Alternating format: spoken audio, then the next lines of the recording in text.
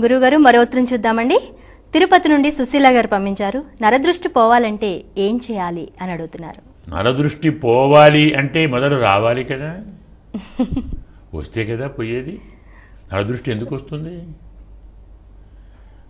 తక్కిన వారి కంటే మనం బాగున్నాం అనుకున్నప్పుడు వస్తుంది. ఏ రకంగా బాగు?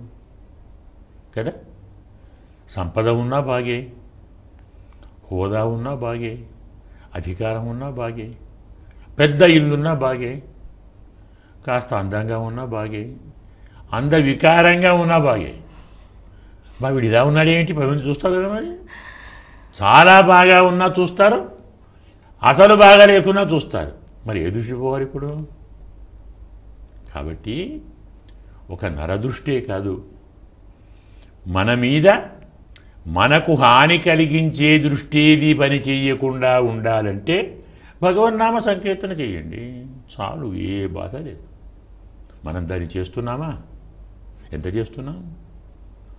రోజు స్నానము చెయ్యగానే మీ పూజా మందిరాలు వెళ్ళి ఒక దీపం పెట్టండి. ఒక ఊదుబత్తి ముట్టించండి. రెండు పువ్వులు వేయండి. ఓ పండో పాడో ఆరగింపు చేయండి. నమస్కారం చేయండి. ఏ దృష్టి పనిచేయదు. ఈ చేసేదేదో ఇక్కడి నుంచి చేయండి. మనఃపూర్వకంగా చేయండి అబ్బో చేయాలా చేస్తేనే పోవాలా? పడండి అన్నట్టు చేయకండి. అతను ఇక్కడ ఉన్నాడు. పరమాత్మ అంతర్యామిగా ఉన్నప్పుడు నీ కలిగించని మీరేమిటి ఇక్కడ ఉన్న స్వామిని అక్కడే పెట్టుకొని చూడు.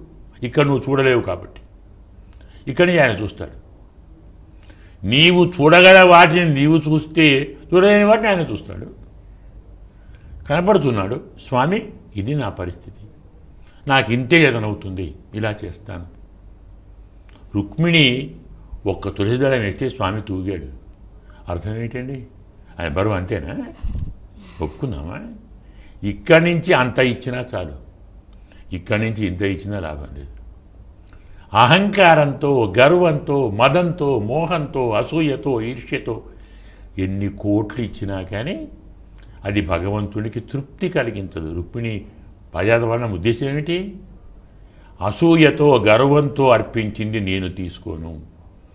భక్తితో పత్రం పుష్పం ఫలం తోయం యో మే భక్తియా ప్రయచితి చాలు నాకు. కాబట్టి మీరు భక్తితో త్రికరణ శుద్ధిగా రోజు భగవద్ ఆరాధన చేయండి. మిమ్మలను ఏ దృష్టి బాధించదు.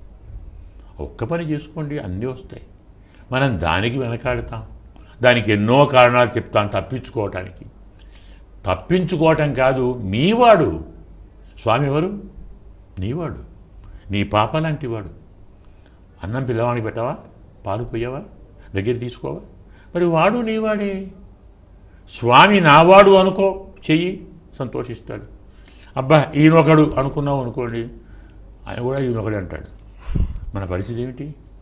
ఇప్పుడు మనసారా భగవంతుడిని ఆరాధించండి. అన్ని దృష్టిలో పోతాయి.